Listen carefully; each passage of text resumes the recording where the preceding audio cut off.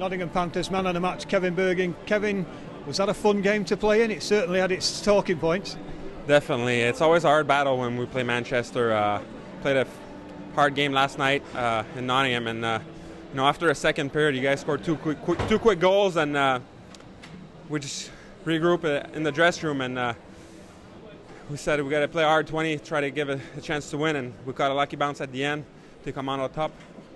It, it, was into the last 10 minutes before you finally scored, but it certainly seemed to change the momentum. Definitely. Uh, we got a lot of firepower on our team, even though we were missing our best goal scorer, David Clarke.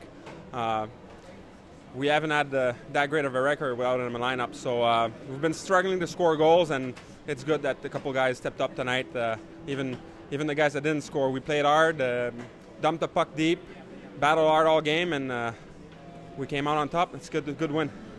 A little bit of good fortune with the third goal. It appeared that you banked it off the back of Stephen Murphy. Yeah, it, it's somebody's skate in front. Uh, you know, we're, we're kind of unlucky on the, in, at the end of the second period with all the commotion that happened. Too many guys on the ice, and, and then score a goal. It just hockey gods, I guess, came back and helped us out for the last goal.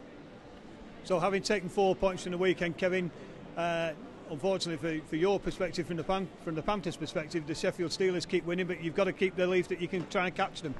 Yeah, we got two games against them still, and uh, we're gonna battle till the end. Uh, you know, you never know.